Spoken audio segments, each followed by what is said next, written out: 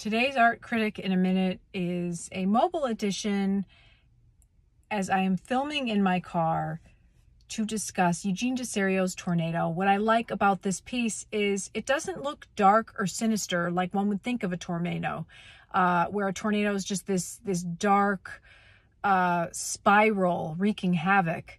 This tornado is pastel, it's happy, it's full of brush strokes and, and geometric shapes.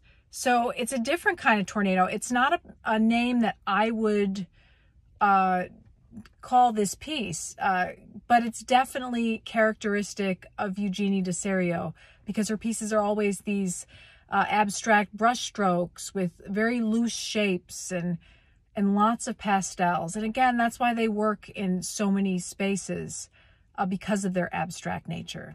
This is Art Critic in a Minute, and I'm signing off.